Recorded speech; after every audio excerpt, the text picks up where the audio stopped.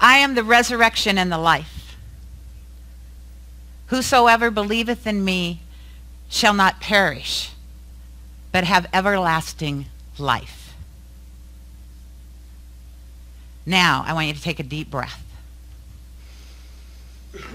And I want you to think about that statement not literally, not as someone other than yourself. Now think about it if you really truly say, I am the resurrection and the life. If I believeth in myself, if I believe in my sonship with the one, if I truly believe that I am God in form, I will never perish. I shall have everlasting life.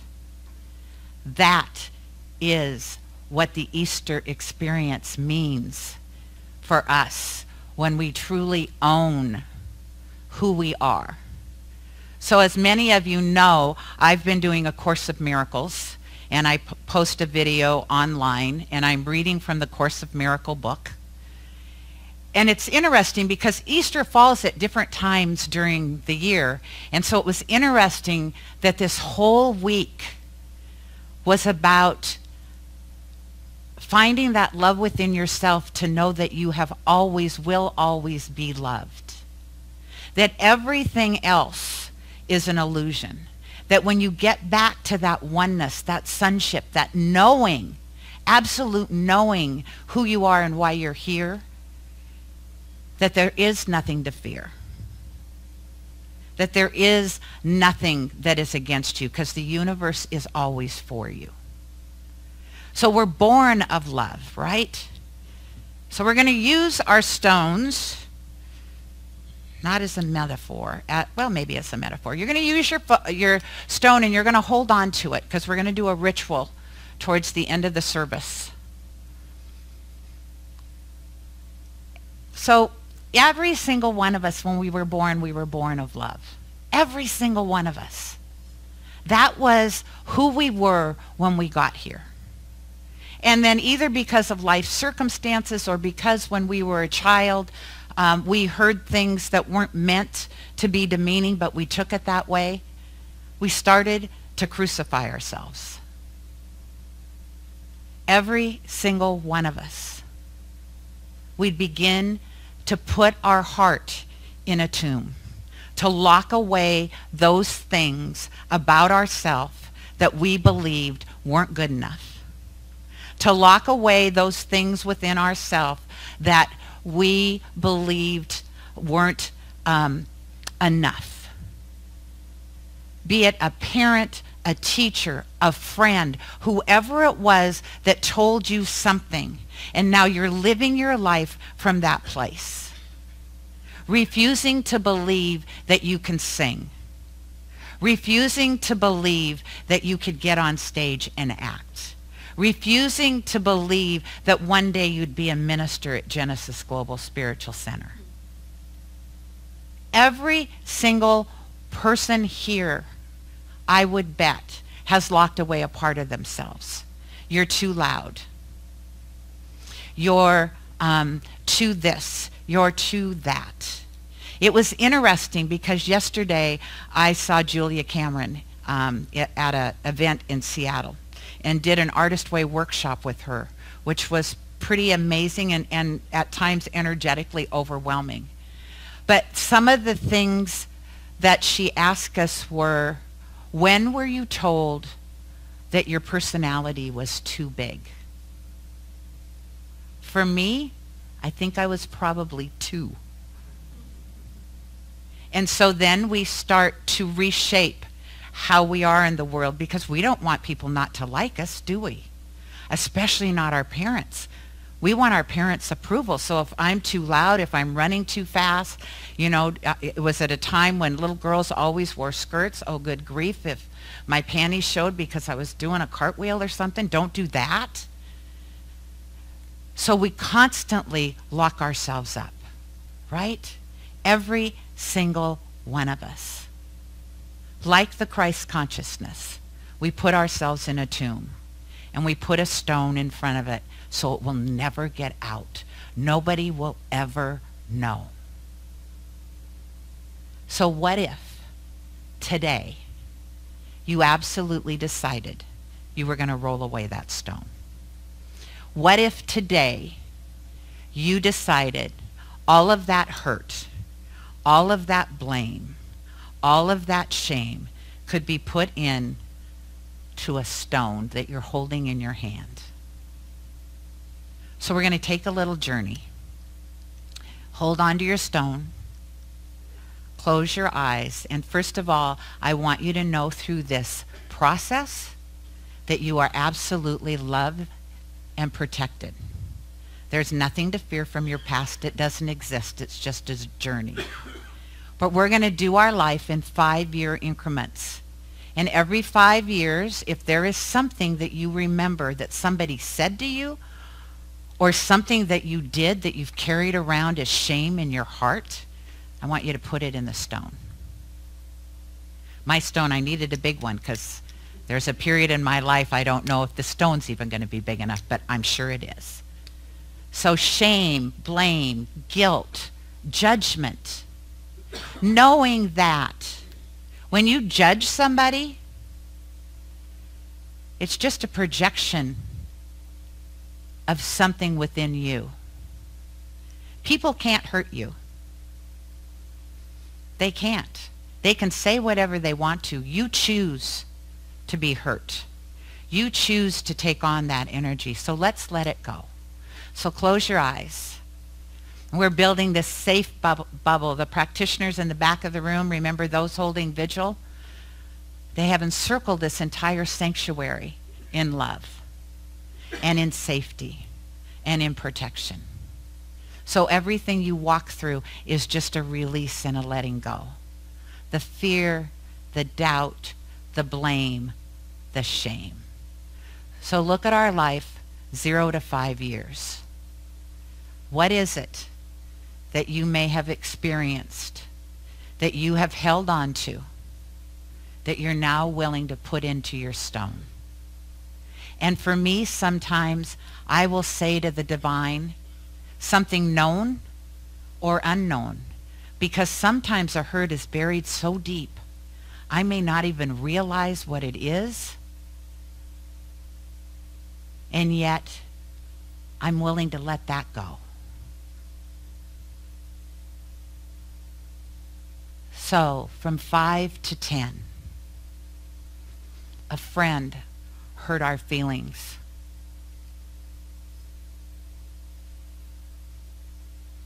Maybe some friends locked you out of the group for a period of time. Maybe your mother compared you to an older sister or brother.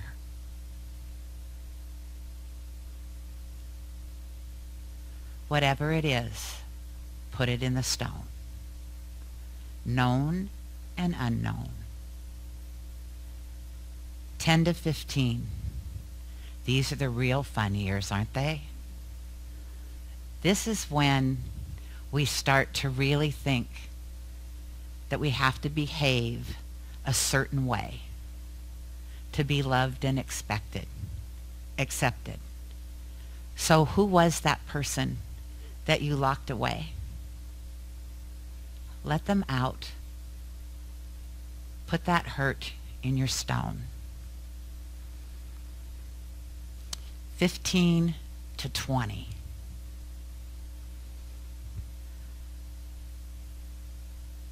That time, for me, lots of things I want to put in this stone. The shame, the blame. I'm not good enough. I have to be a certain way for people to truly see me or love me. Just let it go. 20 to 25. We're in college or we're out in the world. Now there's a certain way that we're supposed to behave at a job. Or, at, or in college. Things are expected, so we bury a little piece of ourselves. Put that in the stone. 25 to 35. Now we're looking around our life. Maybe we're getting married. Maybe we're having kids. We're starting to, to listen to our mate. We're starting to listen to what's on the TV on how we're supposed to behave, what color our hair is supposed to be, how we're supposed to dress. What does a happy family look like? And good grief, why doesn't my family look like the family on TV? What am I doing wrong? Put it in the stone. 35 to 45. Now you're supposed to be an adult. People aren't supposed to be able to hurt you. You shouldn't have anything put in this stone. Oh, much, much more. Now we get into the shame and blame that we don't tell anybody about. God forbid if we let anybody know they'd really hurt our feelings. So we lock it up, put ourselves in a tomb. 45 to 55. That time, your kids are starting to get grown. You're looking at the other side of maybe retiring someday. And yet still, because there's a part of you that's been so locked up, so shut down, you wonder, am I ever going to experience real joy? What would that feel like to truly just be myself fully? No holes bars, no excuses, no apologies. 55 to 65. For me, that was my awakening. Actually started in my 50s. And yet, I still have things to put into this stone. Because we're always peeling back that onion. We're always finding other things that we thought nobody will ever know that.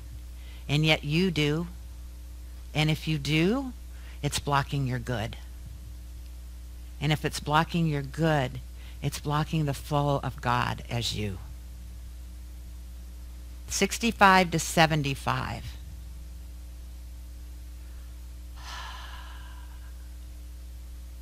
That time when life should be really easy. That we should honor those people who have walked this planet for ages. And yet, sometimes we don't, especially in this culture. And so whatever they have been blocking, whatever they have been holding on to about age, put it in the stone. Or if you've got judgment about someone of that age, put it in the stone. 75 plus. God bless you, first of all, for being here. God bless you for walking this planet through everything and still being upright and breathing. And God bless you now for putting anything that keeps you from really experiencing the sageness of who you are. Put it in the stone.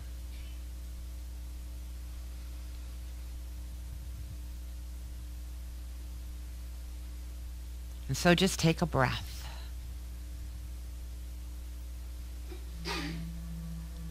I want you to come back into the room and now I'll explain to you what we're going to do with our stones. I would first ask all of the practitioners to stand up and encircle the sanctuary. And practitioner students if they choose.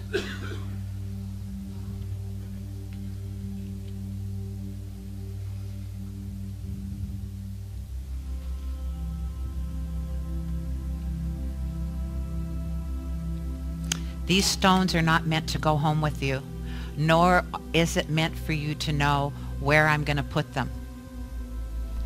Because when you let go of something, you should let go.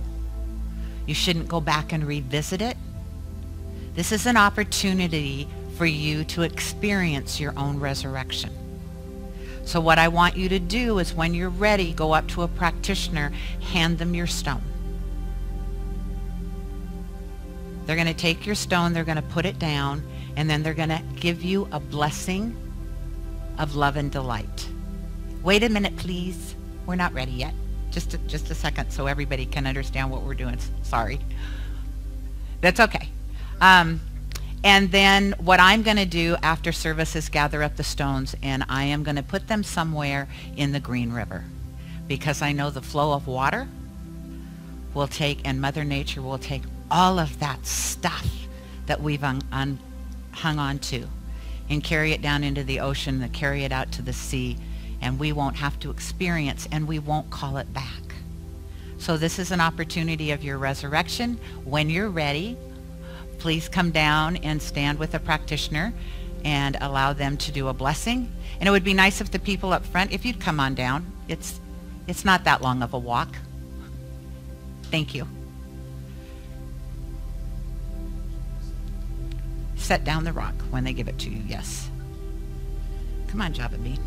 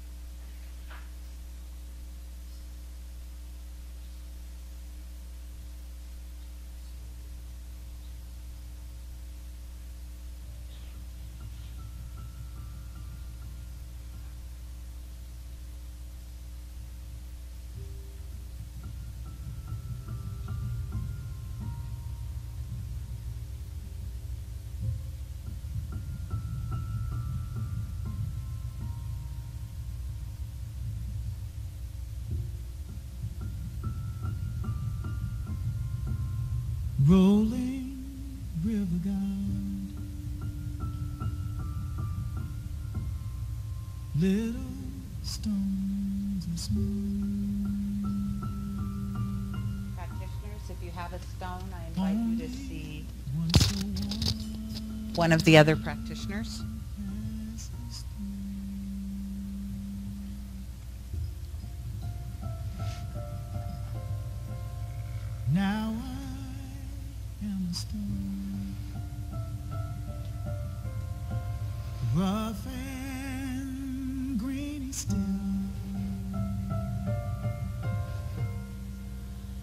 Trying to reconcile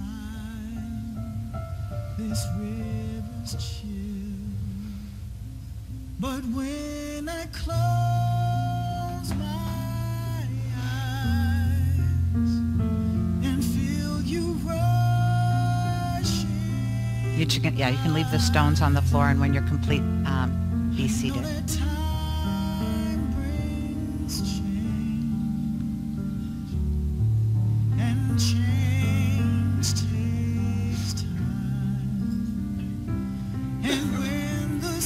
If for whatever reason you didn't participate, and that's okay, I invite you to bring your stone and put it in one of the piles because I really don't want you to hang on to that energy. whether you decided to get a blessing or not. So we're going to end um, this part of the service a little bit differently. It, it's uh, it's participatory and it's a lot and it's movement. So everybody stand up.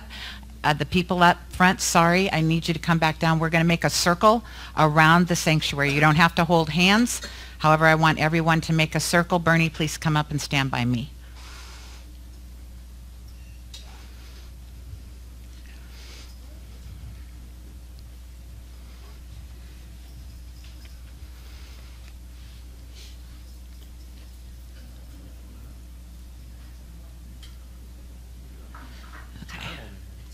Okay, excuse me. Sure.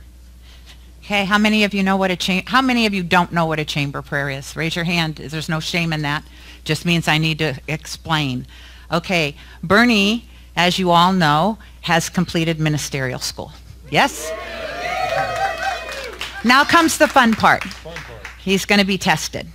And having and having done that, what I know happens in testing is you start to go to all of those little things you've been told all your life. And you get fear and you get kind of caught up. So what a chamber prayer is, you hold up your hands. You can say a prayer any way you choose.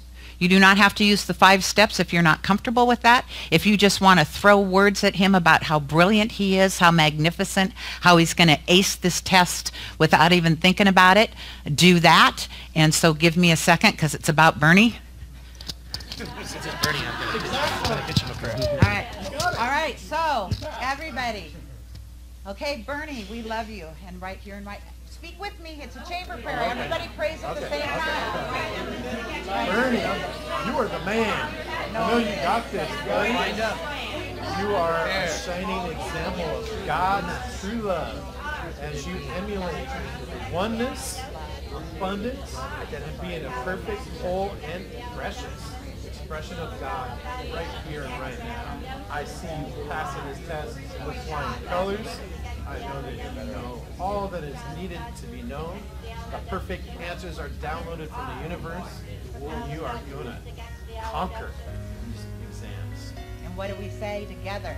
And, And so it is. Yay, Bernie!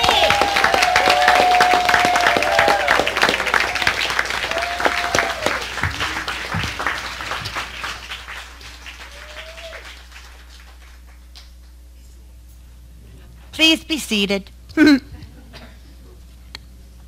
Has offended me, I forgive. Within and without, I forgive. Things past, things present, things future, I forgive. I forgive absolutely everybody and everything who could possibly need forgiveness of the past or the present. I positively forgive everyone. They are free now, and I am free now. And that is from Catherine Ponder's Millionaires of Genesis.